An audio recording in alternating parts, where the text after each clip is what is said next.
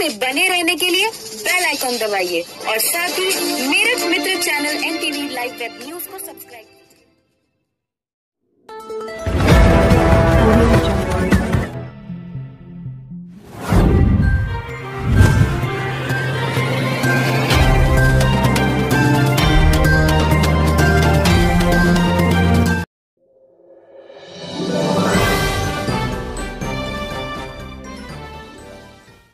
जय हिंद, आप देख रहे हैं मेरे मित्र channel N TV live web news हर खबर पर नज़र, मैं हूँ नवीद खान दिन है।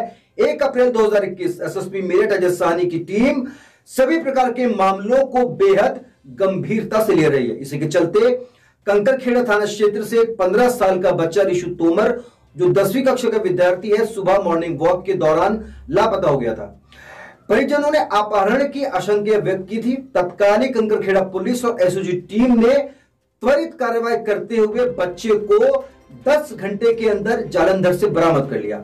हालाँकि बच्चा स्वयं अपने घर से अपनी मर्ज़ी से चला गया था, परंतु उसके साथ कोई अपराध ना हो जाए और इसी के चलते पुलिस टीम द्वारा गंभीरता से त्वरित कार्रवाई करते हुए बच्चे को बरामद कर माँ बाप को सौंप दिया गया। पुलिस के इस कार्य से पुलिस टीम द्वारा त्वरित कार्रवाई किए जाने पर जो इस बच्चे के पुत्र हैं, शिवपाल तोमर, थाने पहुंचकर पुलिस टीम का धन्यवाद दिया उन्होंने।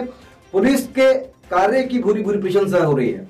इस कार्य को करने में थाना कंकरखेड़ा के कांस्टेबल कुशेंद्र बालियान और कांस्टेबल योगेंद्र तेवतिया के अतिरिक्त एसओजी टीम के निशांत चौधरी और कुर्बान चौहान की महत्वपूर्ण भूमिका रही।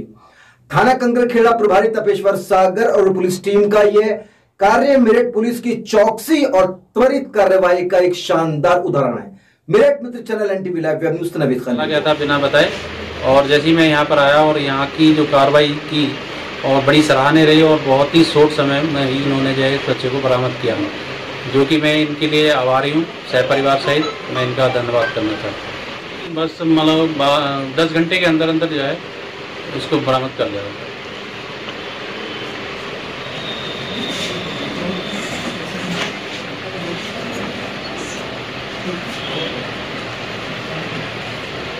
खबर राजनीति से जुड़ी हो या मुद्दा हो आम जनता का? खबर क्राइम की हो या खबर हो आपके शहर की? आपके प्रदेश की या फिर आपके देश की? या फिर बात हो एंटरटेनमेंट की? हम उठाएँगे आपकी समस्याओं को आपकी आवाज़ बनकर। मैं हूँ नवेद खान। खबरों में अपडेट रहने के लिए Meerut Mitra channel N TV live web news को सब्सक्राइब कीजिए और पढ़ते रहिए समाचार पत्र मेरठ मित्र। जय हिंद।